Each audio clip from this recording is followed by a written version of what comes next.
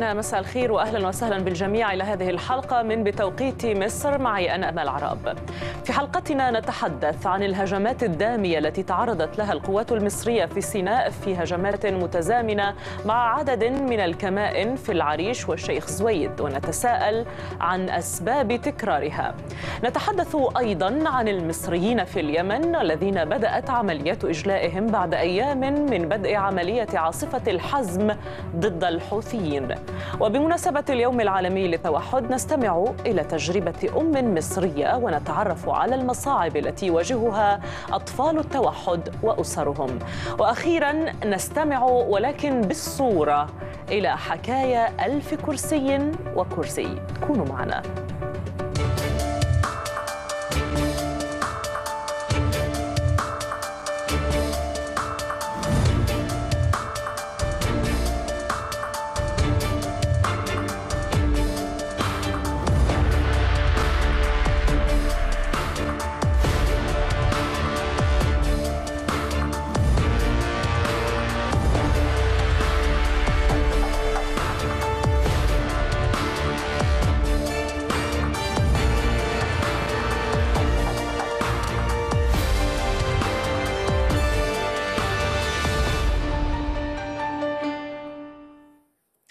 يوم دام شهدته سيناء اليوم. 17 قتيلا بين عسكريين ومدنيين و30 مصابا أيضا من العسكريين والمدنيين المدنيين عفوا.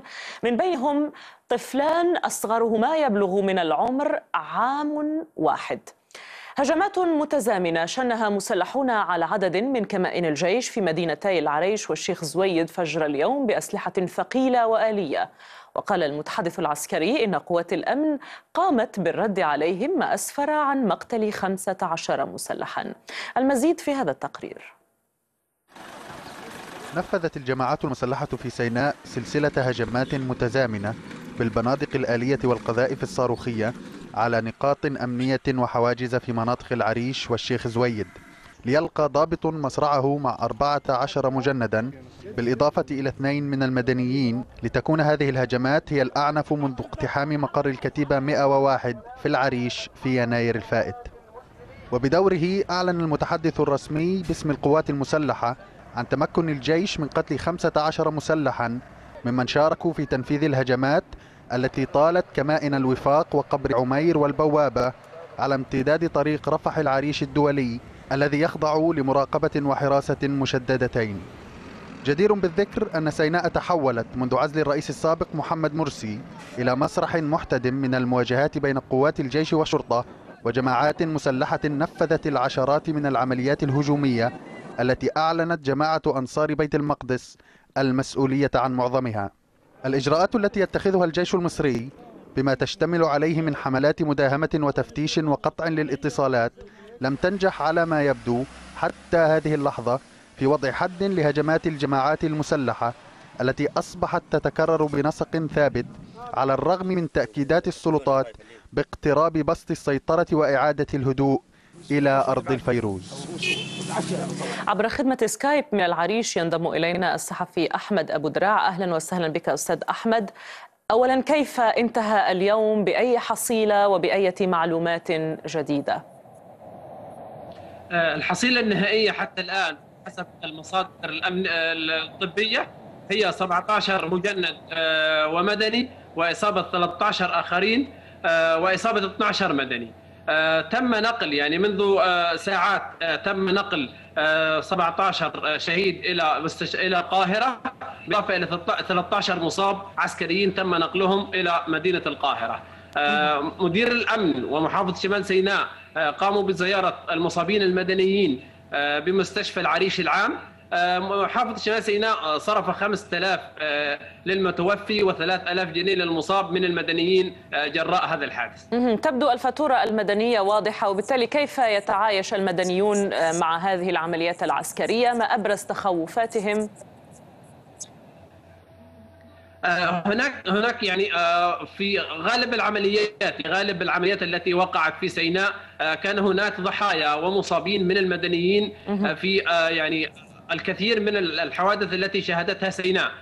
خاصة يعني في الحدث الأخير وهو استهداف الكتيبة من يوم حيث أصيب عدد كبير من المدنيين واستشهد عدد من المدنيين جراء الأضرار التي لحقت بحي الضاحية بمدينة العريش. المجاور للكتيبة 101 ومديرية أمن شمال سيناء أحمد حسب متابعاتك للتحليلات والمراقبات الأمنية لما يجري كيف فسر استمرار هذه آه، العمليات المسلحة وتكرارها؟ بل بوتيرة متقاربة بشكل شهري تقريبا رغم الاستراتيجية الأمنية التي اتخذتها آه، السلطات المصرية.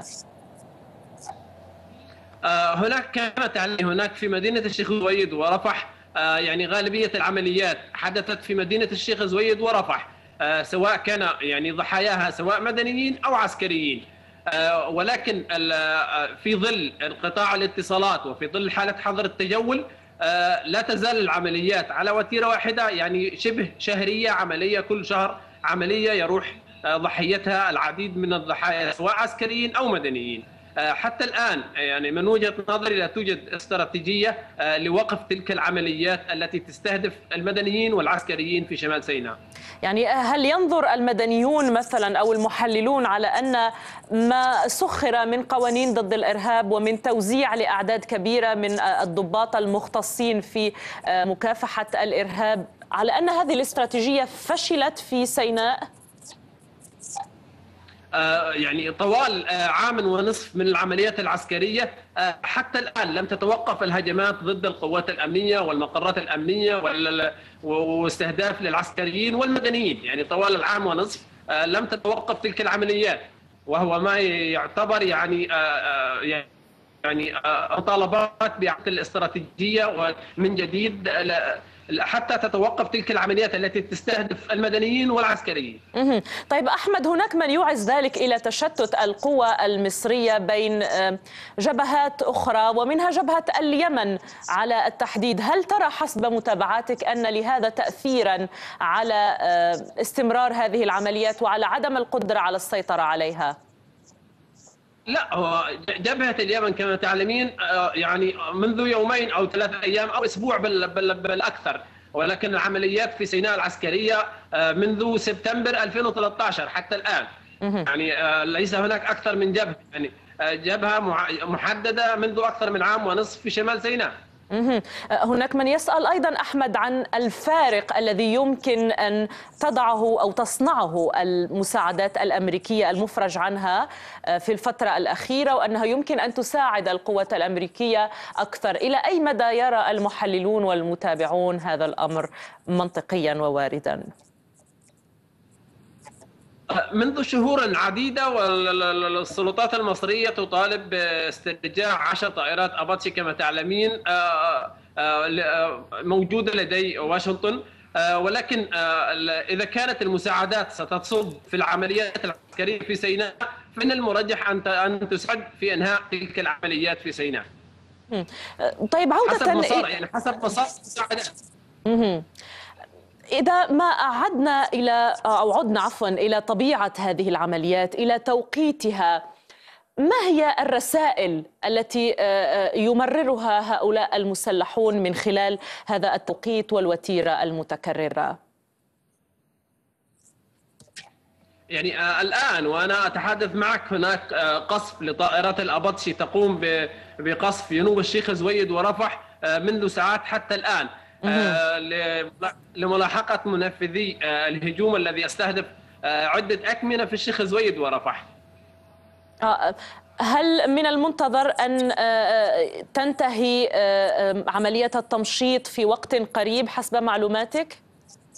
حسب معلوماتي يعني ما تزال يعني طائرة الأبطشي منذ ساعات عدة تقوم بالتمشيط وقصف عدة أماكن جنوب الشيخ زويد ورفح ولكن حتى الآن لم يعني لا توجد ساعة معينة لانتهاء ذلك القصف أو عملية التمشي. شكرا جزيلا آه، الصحفي أحمد أبو دراع، هذه النقاط على كل سأحاول أن أناقشها مع آه، ضيفي الأستاذ أحمد صقر مساعد رئيس جهاز تنمية سيناء لشؤون التخطيط والاستثمار سابقا، أستاذ أحمد مساء الخير. سؤالي آه، كان في بدء الأمر أو ما نحاول مناقشته عن الاستراتيجية الأمنية التي اتخذتها السلطات المصرية بقوانينها بخططها العسكرية لماذا لم تفلح حتى اللحظة في الحد من العمليات المسلحة ضد العسكريين والمدنيين في سيناء؟ يعني برغم التعديلات اللي تمت على الاستراتيجية الأمنية في الفترة الأخيرة بعد الإخفاقات اللي تمت في قرم القواديس أو في الهجوم النووي اللي تم في العريش لكن لازم نبقى فاهمين إن الحل الأمني لوحده عمره ما هيحقق نتيجة على الأرض. لأن أنت بتواجه فكر متطرف. الفكر دوت يحتويه جهود متأخرة جدا في التنمية يحتويه فك القيود عن البشر المصريين كامل الأهلية الطبيعيين اللي عايشين في المنطقة دي اللي هم محاصرين ما بين سندان التطرف ومطرقة الفشل الحكومي في التعامل مع الأمر. فإحنا يعني عندنا جيش نظامي محترف لكن بيحارب حرب عصابات بقواعد الجيش النظامي. فكرة وجود الكمائن في أماكن إحنا قلنا قبل كده إن الكمائن دي في حد ذاتها ممكن تبقى بنك أهداف للإرهابيين يخططوا إزاي وده اللي بيحصل. تجربة أثبتت على أرض الواقع ده اللي بيحصل. طيب ما هي نقاط القوة لهؤلاء حتى يستطيعوا إفشال هذه الاستراتيجية أو جعلها عديمة الجدوى إلى حد اللحظة ولا تزال تحصد الأرواح؟ نقاط القوة يعني الأكثر وضوحا لهؤلاء إن هم بيستفيدوا من أخطائنا، أخطاء النظام، أخطاء أخطاء القائمين على ولاية الأمر. هم في الآخر بيستفيدوا إن القصف ممكن يبقى عشوائي أو أو أو بإحداثيات مضللة فيصيب ناس أبرياء فيروحوا هم يقولوا إحنا إحنا اللي هنحميكم أو إحنا ده اللي بيحصل على الأرض. الفكرة كمان إن هو الناس بتسمع عن وعود تنمية. إحنا سمعنا عن شهرين عن 10 مليار جنيه لتنمية سينا. سمعنا شفنا رئيس الدولة بيعين بيرقي لواء يعينه فريق يبقى مسؤول عن الجبهة الشرقية. ويقول له أنا أنت مسؤول قدامي إن الحوادث دي ما تتكررش وإن امن وتنميه سينا مسؤوليتك. متى سنرى مسؤول يحاسب في سيناء عن تقاعسه عن أداء واجبه؟ متى سنرى مسؤول في سيناء يحاسب عن فشله أو فساده أو إهداره للمال العام؟ متى؟ يعني هل يمكن ده اللي هيحفظ جنود ده اللي هيحفظ دماء جنودنا ده هو اللي ممكن يحفظ ويقلل خسائرنا البشرية في سيناء. يعني هذه الهجمات تحمل رسائل غير سياسية أيضا غير تلك المتعلقة بالإطاحة بالرئيس مرسي والوضع السياسي الجديد في البلاد. هل هذا ما أفهمه من تحليلك؟ أنا أعتقد أن أنا أعتقد أن القائمين على هذا الأمر في سينا من المتطرفين أو المسلحين. لا يعنيهم مرسي ولا يعنيهم الإخوان المسلمين كلية وتحولهم تحولهم كان مرتبط بحوادث كالحرس الجمهوري أو كأحداث يعني المجزرة اللي حصلت في رابعة كان هم قبلها ما كانش فيه يعني توجيه مباشر للهجوم واستهداف مدنيين وسط القوات مع مع القوات الموجودة لكن التغير النوعي ده حصل لأحداث سياسية حصلت في مصر. لكن في الآخر الفكر الفكر المتطرف ده متوطن في سينا من 2005 وإحنا بنستخدم معاه الحل الأمني فقط بلا بلا بلا أي تنمية. مدينة زي مدينة الشيخ زويد قعدت أسبوع من غير ميه وكهرباء. دول بشر طبيعيين مين يستحمل ده؟ لازم نسأل الأسئلة دي. مين مين مين السبب إن مدينة زي مدينة الشيخ زويد فيها آلاف السكان من المصريين من الدرجة الأولى كامل الأهلية يعيشوا في مدينة بلا مياه وبلا كهرباء؟ طرق مقطوعة بقى لها سنين. يعني هو ده. إحنا كده بنعمل بنحقق الاحتقان المجتمعي بنوفر بيها أمان المتطرفين إن هم يكسبوا أرض. لا إحنا يعني واسترجاع الامنيه ثبت إن هي بتحقق لنا خسائر. تمترس في الكماين أو أو الضرب بالاباتشي بشكل أو يعني بشكل غير غير غير محدد. بنسمع عن خسائر في الإرهابيين وبنتخيل إن إحنا خلاص انتهينا من ان المئات ولا اللي موجودين شايلين السلاح ضد الدولة وبنفاجئ إن هم في توقيتات هم عارفينها. إحنا عارفين إن إبريل كل سنة في إبريل بيحصل عمليات نوعية ضد الجيش المصري أو ضد منشآت معينة. ويعني إحنا ده حصل في أول إبريل. إحنا كنا متوقعين ده يحصل مع 25 إبريل. في في فترة الاعياد اللي بتحصل. وده وده يعني ما بيقراش التاريخ وبيعرف سلوك الناس دي. هو ده بيؤدي إلى فشل. فإحنا محتاجين إن إحنا استراتيجيتنا الأمنية تراجع إن إحنا بنحارب شوية أشباح ما نحاربهمش بشكل جيش نظامي. مش الدبابة اللي هتحقق النصر في المعركة دي. السنبلة أو الزرع اللي هتتزرع النور اللي هيتنور محطة الماء اللي تشتغل هو ده اللي هيخلينا نكسب الحرب في معركة الإرهاب. طيب قد يرد عليك آخر أستاذ أحمد في طرحك الذي تفضلت به أن التنمية أو نقص التنمية لا يقتصر فقط على سيناء، هناك مدن ومناطق عديدة في مصر لم تمسها مشاريع تنموية ولا زال سكانها يقبعون تحت خط الفقر ومع ذلك لا تشهد عمليات متواترة ومضبوطة التوقيت كما تشهدها سيناء. لأن لأن سيناء عمقنا الاستراتيجي وأمننا القومي. يصنع الأمن القومي المصري الحقيقي يصنع في سيناء. ما إحنا عندنا الصعيد أهلنا في الصعيد صابرين ومستحملين التهميش وغياب التنمية. لكن في الآخر حدودنا في الصعيد مع مين؟ مع اشقائنا السودانيين. لكن إحنا حدودنا في الشمال الشرقي مع مين؟ مع إسرائيل. طيب. مع, مع العدو الإسرائيلي. ما هو في الآخر هو هو العدو. مهما مهما اتقال إن علاقاتنا هو في الآخر عدو. طيب ماذا عن الضحايا المدنيين؟ الذين يسقطون جراء هذه العمليات يعني هل تعتبر هذه العمليات سببا مباشرا في سقوطهم أم أن العمليات العسكرية للسلطات المصرية هم إحنا قلنا ال- ال- أهل سينا أهلنا اللي في سينا واقعين بين شقي الرحى. هم بي- بيموتوا سواء في الاشتباه على الكمائن بالغلط أو بيموتوا خلال ضرب عشوائي أو بيموتوا خلال عمليات بيقوم بها الإرهابيين على اكمنه وتصرف وجودهم في الأماكن دي. وفي نفس الوقت على المستوى الإنساني هم إحنا مش بندين لهم لا أي فرصة للتنمية ولا أي فرصة للعمل بننيمهم كل يوم من المغرب بقالنا سنتين. النشاط الاقتصادي متوقف اللي بينزل مصر بيقف على الكناين وبيهان مجرد إن بطاقته من الشيخ زويد ولا من العريش. ال- الصورة الذهنية اللي بتترسم لهم في الإعلام صورة غير صحيحة للأسف بشكل مغرض. كل دوت ونرجع نقول ليه الفكر المتطور المتوط- المتطرف متوطن في سينا. نسأل نفسنا الأول نسأل ولاة أمرنا الأول إحنا ليه عملنا في سينا كده عشان توصل للمرحلة دي؟ إن إحنا الجندي المصري دمه بيسيل على أرضه بسلاح شايله واحد مصري أو أو أو واحد م- م- جاي من من مكان أو هي دي المحركة اللي إحنا بنتكلم فيها. وحلك الأمني مهما عملت بطش مهما وصلت مهما قتلت طول ما بيئه الاحتقان موجودة هيفضل في متطرفين شايلين سلاح ضد الدولة. طيب. هيفضل في إرهاب وهيفضل في تفجير. التنمية تمشي بشكل موازي. سينا فيها مشاكل في 40 كيلو 40 كيلو متر من أصل 670 كيلو سواحل. بنعمل إيه؟ في بقيه 670 كيلو سواحل دول خاوية على عروشها. هل قدمت هل قدمت أي مطالب مدنية أستاذ أحمد بهذا الشأن؟ وجهة النظر كثيرة. هذه هل وصلت إلى السلطات؟ كثيرة. بصي برامج تنمية سينا والخطط وال- والمشروعات موجودة م- م- يعني الأدراج محملة بها حتى يعني يعني الناس ضجرت من المطالب.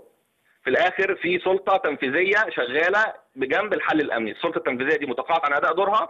في مسؤولين تنفيذيين مسؤولين عن تنمية سينا ما بيروحوش سينا بالسنة وبال- والأشهر. في ناس بتدير سينا ب- من فاكر إن تنميه سينا هتدار من القاهرة وهو مطلوب منهم يكونوا موجودين في قلب في قلب سينا عشان يمارسوا مهامهم. اللي هم قابلوها وقابلوها بمهامها عشان يمارسوا دورهم. فاحنا الجيش مش هيقدر يواجه الارهاب لوحده في سينا بدون تنمية حقيقية بشكل موازي تفك الاحتقان المجتمعي اللي موجود في سينا بدون فك الإجراءات الأمنية الغير ضرورية التي ثبت فشلها إحنا قفلنا منطقة الضاحية سنة على الناس وفي الآخر الإرهابي نجح إن هو يخترقها ويفجر فيها كتيبة 101 حاطين كمائن منعت الناس من مزاولة حياتهم الطبيعية في الوصول لاحتياجاتهم الأساسية والكمائن دي ثبت فشلها لأنها ما منعتش الإرهاب إن هو يهاجم الكمين ويدمره. فاحنا. يعني لحد إمتى هننادي ان إحنا الاساس مواجهة الإرهاب خط دفاعنا الأول هو أهلنا في سينا. عدم وجود ليهم قدر في المعادلة بتاعه التعامل الأمني هو أكتر خطر يهدد الأمن القومي. شكرا جزيلا أهل سينا أهل سينا هم هم مفتاح الحل. نتمنى أن تصل الرسالة شكرا جزيلا أستاذ أحمد صقر مساعد رئيس جهاز تنمية سيناء لشؤون التخطيط والاستثمار سابقا قالت وزارة الخارجية المصرية إن مجموعات من المصريين في اليمن قد بدأوا الخروج منها تمهيدا لعودتهم إلى مصر.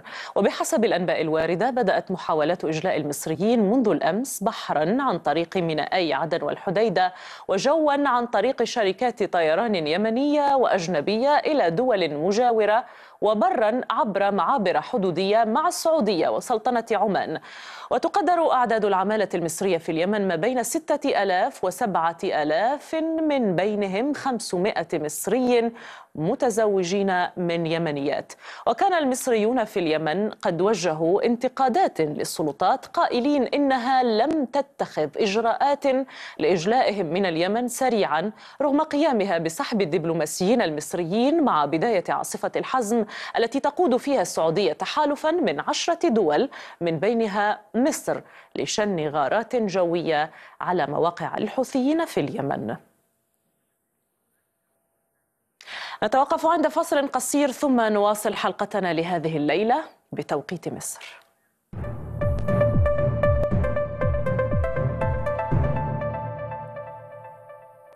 أهلا من جديد.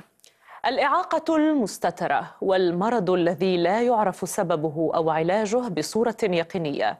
هكذا يعرف البعض مرض التوحد. فالطفل المصاب بالتوحد يصعب تمييزه بين آلاف الأطفال من النظرة الأولى وربما هذا هو ما يجعل إدراك الأهل لإصابة الطفل بالمرض سريعا أو تعامل المجتمع معه أكثر صعوبة. في مصر لا توجد أرقام مؤكدة حول عدد الأطفال المصابين بمرض التوحد لكن ما يجمع عليه أسر الأطفال المصابين هو قلة الوعي المجتمعي بالمرض والتعامل مع المصابين به وأيضا صعوبة العثور على مدارس غير باهظة التكاليف يمكن للطفل أن يندرج فيها مثل أقرانه.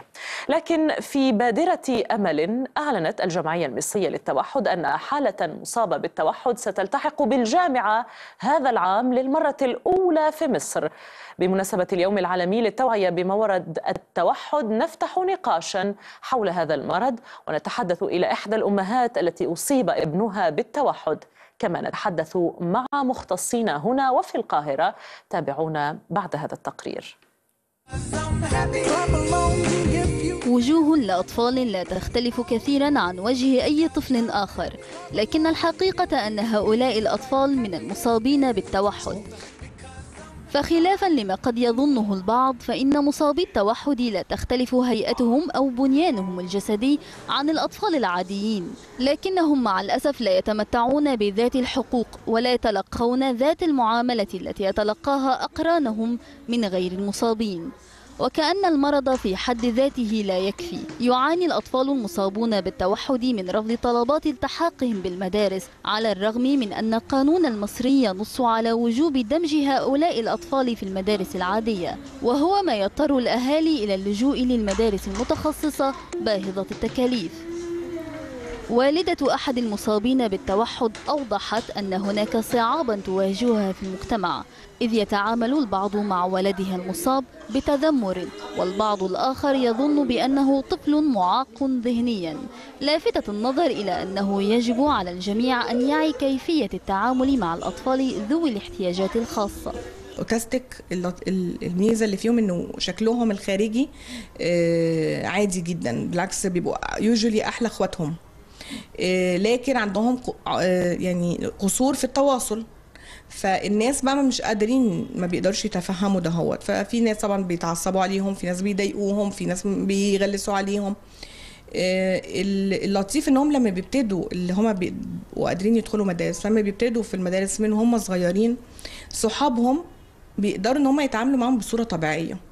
ويعد مرض التوحد من الأمراض التي يصعب اكتشافها بسهولة فهو يظهر في السنوات الثلاث الأولى من حياة الطفل في هيئة قصور في بعض السلوكيات منها عدم القيام بردة فعل حيال من يبتسم لهم وعدم النظر في العينين مباشرة وعدم الخوف من الخطر. بالنسبة للمواصفات التشخيصية لمرض التوحد أو الأوتيزم آه، أول حاجة هو مشكلة في التواصل. آه، التواصل نوعين تواصل لفظي وتواصل غير لفظي. الطفل ده بيكون عنده تأخر في الاثنين التواصل اللفظي يعني في تأخر في الكلام والتواصل غير اللفظي يعني في تأخر في التعبيرات اللغوية وفي التفاعل الاجتماعي مع الآخرين. الطفل ده ما يعرفش يشترك في أنشطة مسلية مع الأطفال الآخرين.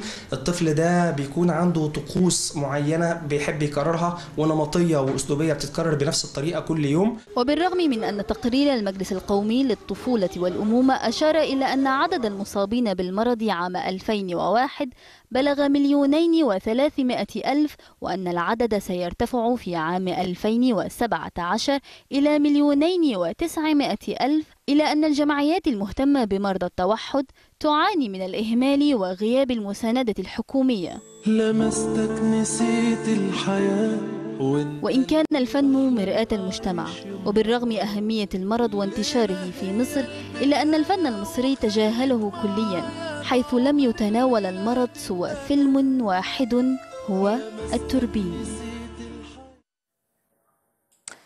ومعنا في الاستوديو آه، الزميلة سلمى عمارة وهي أم لطفل يبلغ من العمر ثلاث سنوات ويعاني من التوحد لتحكي لنا عن تجربتها وابنها مع المرض. مساء الخير سلمى. معي أيضا الدكتور علي تاج أحمد آه، استشاري طب الأطفال والمتخصص في أمراض التوحد. وسنحاول أن تكون معنا من القاهرة أيضا الدكتورة مها الهلالي رئيسة الجمعية المصرية لتنمية الأشخاص ذوي الإعاقة والتوحد. أبدأ معك سلمى. أول شيء شكرا جزيلا أنك ستقاسمين معنا ومع المشاهدين هذه التجربة. نحييك على هذه القوة وهو ليس غريبا على أمهات مصر أبدا وعليك سلمى تحديدا. لو تحكينا أولا كيف بدأت قصة أحمد. الله يخلي لك إياه إن شاء الله. مع التوحد كيف اكتشفتي ذلك؟ آه، في الحقيقة أنا كنت ملاحظ إن هو أوبسيست بإيديه. بي كان طفل عمره شهور بس كان بيفضل ممكن يقعد ساعات بيبص على إيديه. آه. تطوره كان طبيعي لحد عمر السنة. وبعدين بدأت ألاحظ إن هو بنادي عليه ما لسه ما بيعرفش اسمه ما بيردش على اسمه ما بيلتفتش.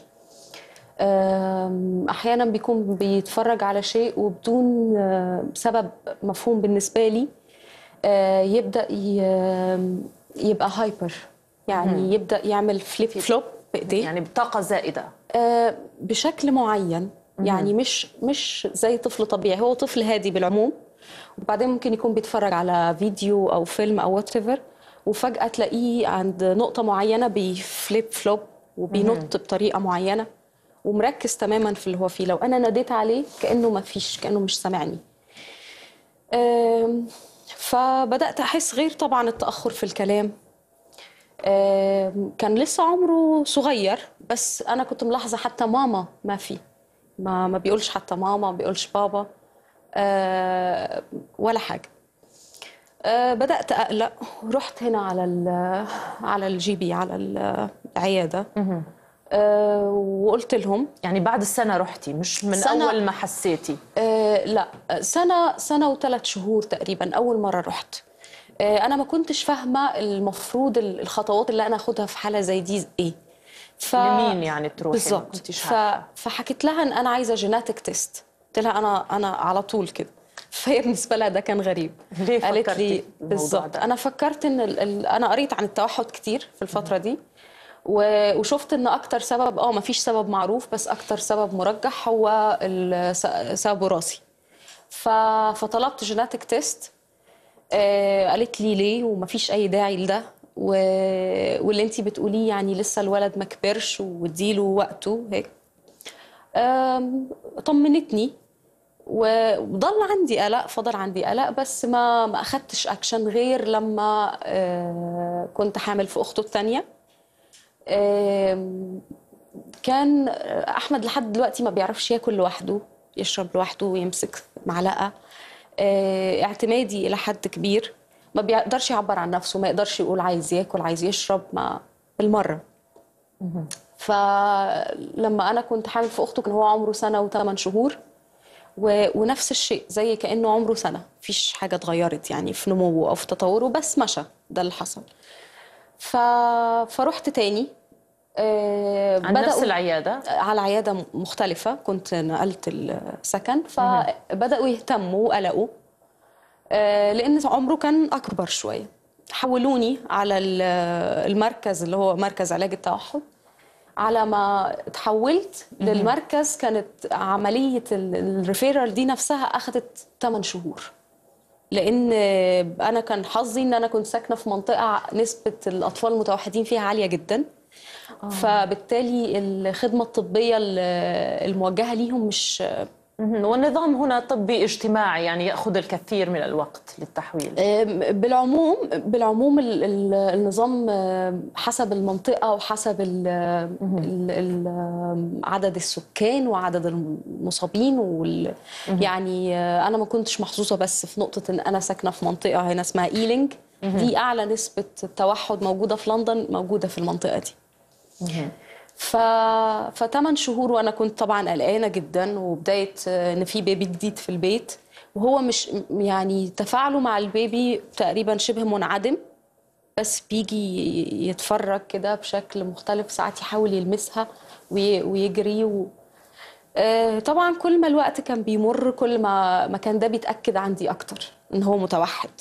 كل مرة كنت بروح لهم طبعا ال process إن هم يشخصوه نفسها أخذت حوالي آه، سنتين إلا شوية إلا شهر ولا شهرين ف... فطول الفترة دي أنا كنت يعني بتوسل إليهم بس إن هم يدوني تشخيص كل مرة كنت بروح لهم بقول لهم أنا عارفة إن ابني عنده توحد.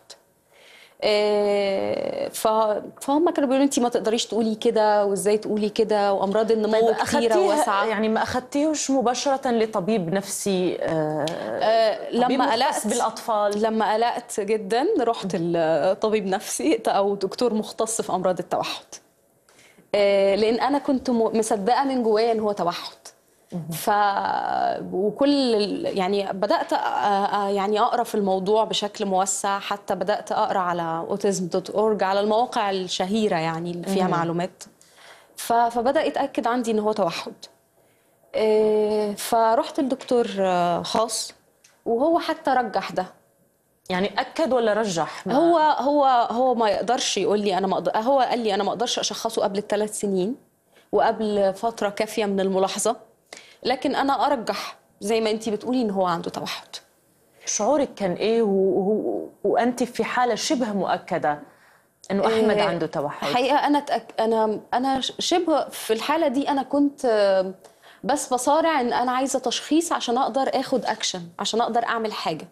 أنا زي اللي حسب عجز تام ومش قادرة أعمل حاجة. واللحظة اللي أنا جالي فيها تشخيص بقى من الحكومة يعني دي اللحظة اللي أنا كنت المفروض مستنياها. أنا آه، اتصدمت جدا. وكأني بسمع يعني حاجة جديدة عليا. حتى الدكتور نفسها كانت مستغربة قوي تقول لي طب انت زعلانة ليه؟ طب ما انت كل مرة جيت لنا فيها قلتي إن هو عنده توحد. آه، أنا نفسي كنت مستغربة ليه أنا مصدومة. و أكيد الموضوع اخذ فترة إن أنا ابدا يعني آه، نفسيا أأهل نفسي إن أنا أقبل الفكرة. وإن أنا أفهم آه، إن التوحد مش آه، إن التوحد بس أو أبدأ أخده إن هو طريقة مختلفة إن ابني بيفهم العالم وبيتعاطى مع العالم بشكل مختلف. فأنا ال challenge دلوقتي مش إن أنا أعالجه قد ما هو إن أنا أحاول أفهم الطريقة اللي هو بيفهم العالم منها. بدأت أقرأ عن ال عن ال programs اللي بتعالج التوحد. أه، ف معظم ال programs الناجحة كانت اللي هي بتنطلق من إن انت تقلدي الطفل في اللي هو بيعمله. آه طيب إحنا حنحكي آه، سلمى عن آه، طرق التعامل ما الذي طلب منك آه، شخصيا من والده وغيرها من النقاط؟ دكتور مساء الخير.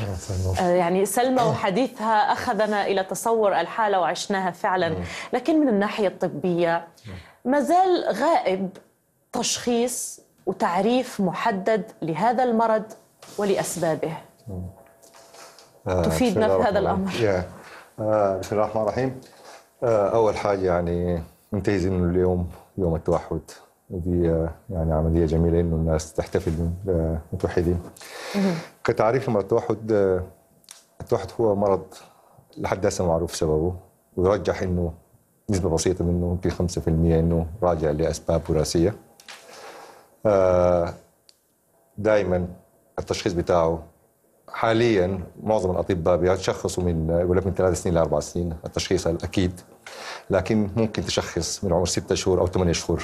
حاليا ممكن من بعض المراكز يشخص ما بده تشخيص كامل لكن بقول لك let's see and observe لكن بيكون الدكتور اللي بيشوف ال child لأن هي من تبدأ العملية بتاعت ال development أو النمو بتاعت الطفل. تبدأ هو هنا بيلاحظ. أول زول ممكن يلاحظ إنه ال- ال- الطفل عنده توحد. هي أم بالذات إذا أم كان عندها experience أو خبرة وعندها قبل كده عندها child بتقوم تعمل آه، مقارنة بين الطفل الأول والطفل الثاني بتلقى في اختلاف بين الطفلين.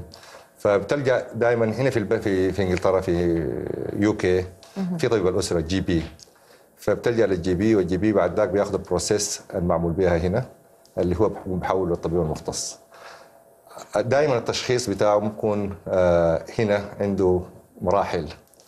اللي هي بمر بمرحلة إحنا دائما نقول multidisciplinary team أو مجموعة من ال ال- ال- إجراءات. أي أي مجموعة من ال- خطوات. الخصوصيين بيخطوا التشخيص مع بعض. لكن ال- ال- التشخيص clinically دائما بيكون بالنسبة للطبيب المختص بيكون ظاهر. بيلجأ زي ما قالت ال- الأخت سلمى قبل شوية بيلجأ لل آه، التشخيص بتاع ال genetic test إذا في history في ال family في تاريخ وراثي عن آه، تأخر في النمو أو في طفل عنده آه، توحد أو عنده بعض الأعراض بتاع تأخر في النمو. دائما الطبيب بيلجأ لل لل genetic test أو تحليل الجينات. تحليل الجينات. آه، طبعا في في حاليا هنا في المملكة المتحدة واحد من كل 100 طفل عنده توحد. نسبة كبيرة. نسبة كبيرة جدا. in total في حوالي نص مليون طفل في UK النص مليون ديل يعني النسبة قلت بالنسبة للت- لل- لل- للتم- في في ال eighties كويس أو يعني ال- ال- ال- ال- النسبة بتاعت التشخيص زادت في انه الناس بقت تعرف sorry الناس بقت تعرف اعراض المرض وحسب ال education الحاصل بالنسبة لل families فبيقوا يلجؤوا للط- للطبيب من early signs العلامات المبكرة. العلامات المبكره تظهر لل- لل- لل- لل- للطفل بتلجا للطبيب ودي حاجة جميلة جدا لأنه كل ما تلقى تشخيص بدري كل ما أنت آه، تستطيع أن تستعد تتعامل. أيوه والأم وتستعد للعلاج. آه، على كل اسمح لي دكتور أن ستنضم إلينا الآن دكتورة مها الهلالي رئيسة الجمعية المصرية لتنمية الأشخاص ذوي الإعاقة والتوحد. أهلا وسهلا بك آه، دكتورة مها. هل لك أولا أن تحدثينا عن الجمعية عن الحملات ولعل العام الحادي عشر تطلقون حملة هذا العام تحت شعار أبريل آه، شهر تقبل التوحد. حدثينا أكثر. دكتورة مها مساء الخير. أنا مؤسسة رئيسة الجمعية المصرية آه، لتقدم الأشخاص ذوي الإعاقة والتوحد. ووليد أمر شاب عنده توحد مصطفى عمره 24 سنة. أنشأنا الجمعية مو- مجموعة أولياء أمور سنة 98 وشهرت سنة 99 بدأنا حملة التوعية آه، بالتوحد سنة 2005 بعد المؤتمر العربي الأول للتوحد بتنظيم اليونسكو كان في بيروت في 2004 واتفقنا إن كل الدول اللي كانوا مشاركين آه، نكون شبكات جوه بلدنا للتوعية بالتوحد. وفعلا ابتدينا إحنا من 2005 في مهم. 2014 قررنا إن إحنا نغير الحملة لحملة التقبل. إحنا فكرنا إن التوعية كده وحان وقت التقبل أحيانا التوعية مش ك... يعني ما بتكونش كافية للناس توصل للتقبل. فابتدينا إن إحنا آه، نزق أكتر على التقبل وبنعمل فعاليات نحتفل خلال الشهر بقدرات آه، أولادنا. بنحب نوري قدراتهم نعمل آه، مهرجان رياضي. بيكون باشتراك 45 جمعيه من جميع محافظات آه، مصر. بنعمل معرض الفنون آه، الأشخاص ذوي التوحد. طيب. آه، وبنعمل آه، مؤتمر توعوي آه، مفتوح طيب هذه الفعاليات دكتورة آسفة على المقاطعة فقط لنستثمر الوقت أكثر. هذه الفعاليات ما, ما. تفيد ما الذي تقدمه؟ وأيضا جهود الدولة هل هي كافية؟ المجتمع المصري هل يقدم لهذه الجمعيات مساعدة من أي نوع آه، هو أول حاجة حضرتك بتقولي هل ال- الحملات كافية أيوه مم. الحملات مش كافية طبعا لكن هي بتؤدي الغرض على الأقل بنوصل للتوعية وإن إحنا نوصل لل- للأسر اللي لديها مصاب بحيث إن إحنا نوصل للتشخيص المبكر والتدخل المبكر لأن هو ده اللي هيفرق في حياة الطفل والشخص ذو الإعاقة إن إحنا نبتدي ال- التدخل مبكر ويبقى بكثافه وهو ده اللي ممكن يقفل الفجوه الموجودة بينه وبين اقرانه. بالنسبة للمجتمع المجتمع ابتدى يتقبل أكثر على الأقل دلوقتي لما حد بيقول شخص عنده توحد بيبتدي الناس تفهم إيه هي ال- التحديات اللي هو ممكن يكون بيواجهها وبيعرفوا يتفهموا أكتر آه، في شغل كتير عاملاه الجمعيات ان إحنا نوصل للدمج آه، الدمج لسه مش واصل آه، بالصورة اللي إحنا نأمل فيها. لكن في جهود مشكورة موجودة. وزارة التربية والتعليم في آه، آه، قرار وزاري للدمج في المدارس الابتدائي آه، وابتدى يتنفذ من 2009 ويعني إحنا اللي بنبص عليه إن هو يكون مدعم بطريقة أكتر. آه، ظروف الدولة ممكن تكون مش فيهاش استقرار مادي. عالي من من ساعة ثورة 2011 وفي تغييرات كتير حصلت في وزارات يعني حوالي وزارة التربية والتعليم فات عليها حوالي ست وزراء. فنأمل إن إحنا نوصل لمرحلة استقرار وإن هو فعلا نشوف التفعيل بقى لل- للطلبات اللي إحنا طالبينها. ممكن طبعا آه، مع خروج قانون الإعاقة اللي نأمل إن هو يخرج مع تكوين البرلمان بعد الانتخابات القادمة إن نعم. هو القانون جاهز المفروض يتعرض ويتوافق عليه إن القانون قدم ما اتجددش من سنة مهم. 75 إلا مرة واحدة سنة 82 نحن نتمنى أن تصل كل هذه الرسائل. ونتمنى لكم كل التوفيق وأسفة جدا على آه، المقاطعة دكتورة مها. الهلالي رئيسة الجمعية. المصرية لتنمية الأشخاص ذوي الإعاقة والتوحد شكرا جزيلا على هذه المشاركة س- قبل أن نواصل عفوا كنت أود أن أواصل مع الضيفة لكن المخرج يصر على أن نتوقف عند فاصل ثم نواصل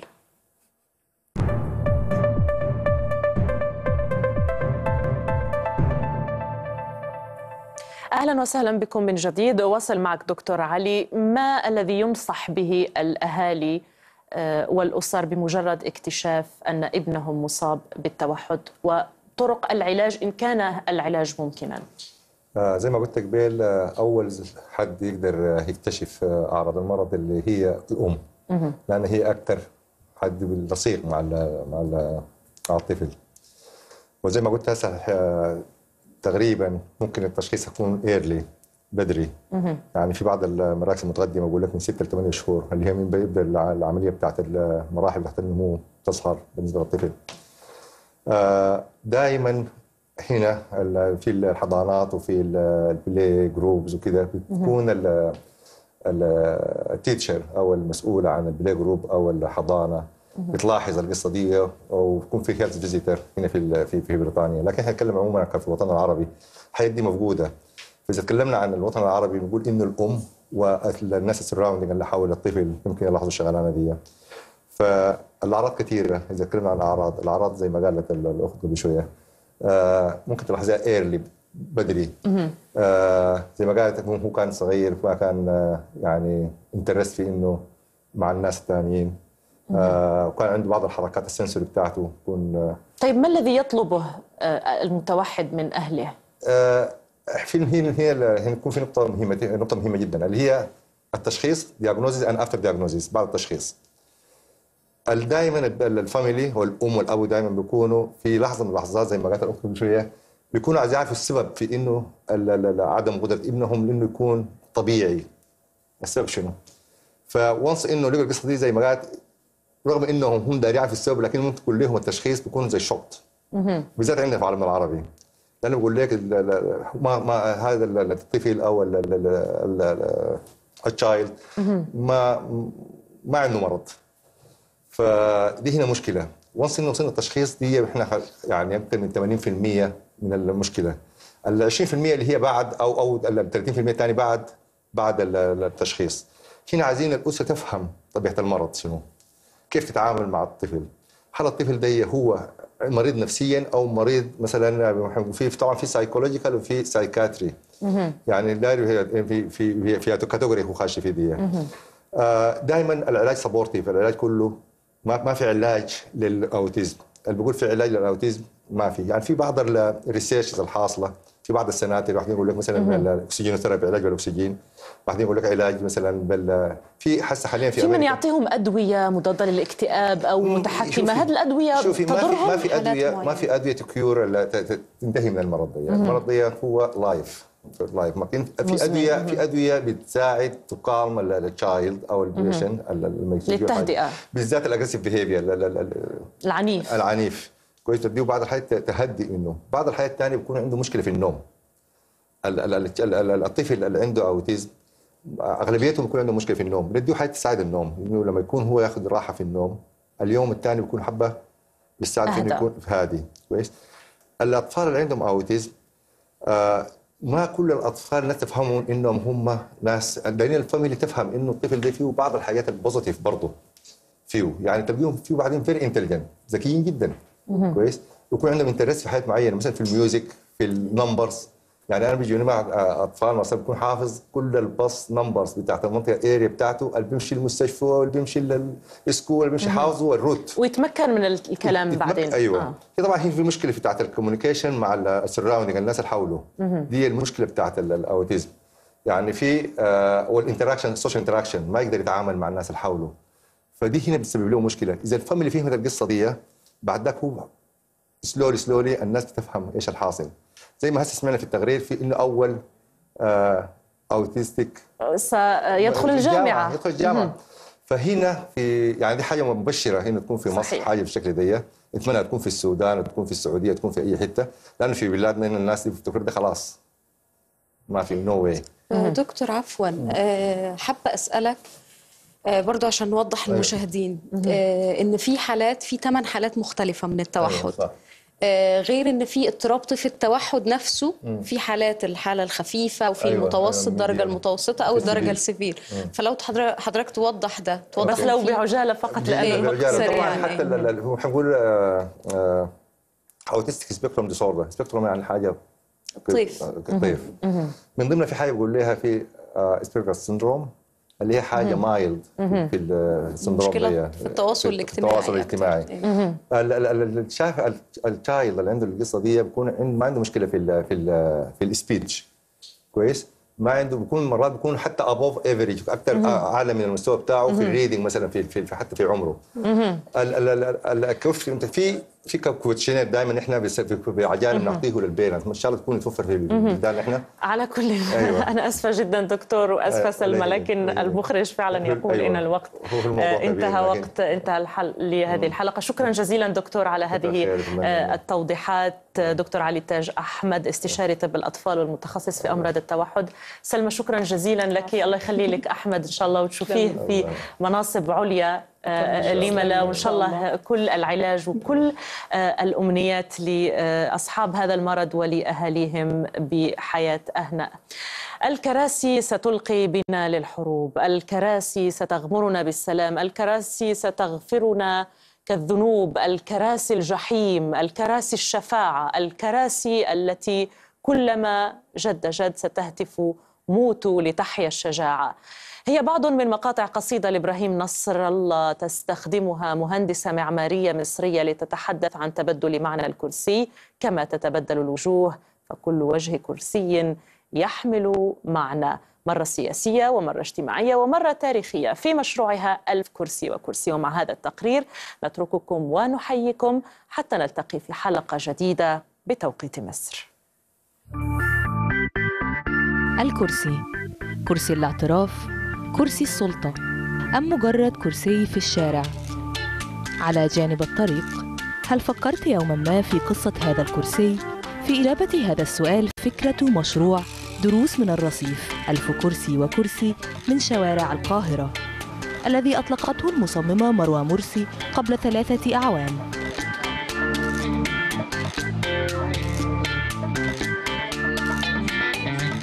وكمان كنا عايزين نستعمل الكرسي كعدسة نقدر نشوف بيها المدينة نفهم بيها إزاي الناس ليه الناس بتقعد على الكرسي آه إيه علاقة الكرسي بالسياسة آه ليه ليه في العلاقة دي إزاي الناس آه بتراقب بعض بتتكلم بتحكي الكرسي بيدل على إيه أو إيه المدلولات بتاعته في المدينة. يسعى هذا المشروع الذي سيتحول لكتاب إلى استكشاف السمات العمرانية للقاهرة الكبرى. من منظور كرسي الشارع العادي. لتأخذك تلك الصور في سلسلة من الجولات الاستكشافية بالقاهرة بأحيائها المختلفة على لسان مستعملي تلك الكراسي الذي يعيشون في مكان خاص يقع ما بين الشوارع والمباني. فيتحدثون عن حياتهم وعن الوقت الذي يمضونه على الأرصفة وعن رؤيتهم للمدينة الصاخبة وعن تصاميم كراسيهم. بقاله خمس سنين. بقاله خمس قبل كرسي غيره اتكسر كان شكله إيه؟ خشب. كان خشب؟ طب وانه أحسن الخشب ولا والله أي حاجة الواحد يرتاح عليها وخلاص. ولأن الحكايات كثيرة عجزت عن حملها صفحات التواصل الاجتماعي قررت مروى إطلاقها في كتاب حصلت على منحة من المركز الثقافي البريطاني في القاهرة للتنفيذ فكرتها مع المصور ديفيد بويك. كنت عايزة أبص على الفراغ العام وإزاي الناس بتستخدم الفراغ العام بطرق مبتكرة. وكنت عايزة كمان أبص على تصميم ال- ال- الكرسي نفسه إزاي الناس بتستعمل حاجات موجودة حواليها عشان تصلح الكراسي بتاعتها بطرق مبتكرة ممكن حد زي أنا كمصممة أو أي مصمم مش هيفكر في الأفكار اللي الناس بتفكر بيها. على مدى أكثر من ثلاث سنوات تجولنا في جميع أنحاء المدينة سمح لنا هذا باكتشاف التنوع المدهش في القاهرة من حيث الأحياء والناس. تحدثنا إلى أصحاب المتاجر تحدثنا لبائع الخضروات وتحدثنا إلى حراس العمارات وساسة السيارات واستمعنا إلى قصصهم. وأعتقد أن هذا هو ما يحاول كتابنا أن يعكسه. يحاول إعطاء صوت لسكان القاهرة بتنوعهم وحياتهم وهمومهم وقصصهم ومعاناتهم. وكذلك أفراحهم. قصص كثيرة يتضمنها. منها قصة عبد الله علام. يعني هو تقدر تقول إيه؟ يعني إيه؟ يعني مثلا الهوا بره بتاع بدل كتمة ال- الناس صحابنا معدية شمال ويمين وبتاع. لازم نصبح على بعض. سعى مروة وصديقها إلى جمع الأموال اللازمة لطبع الكتاب عن طريق أحد مواقع الكراود فاندنج وهي وسيلة لعرض الأفكار المبتكرة على الإنترنت. وجمع الأموال اللازمة لتنفيذها من مستخدمي الإنترنت المتحمسين للفكرة. ومن المقرر أن تنتهي حملة جمع الأموال في الخامس من إبريل.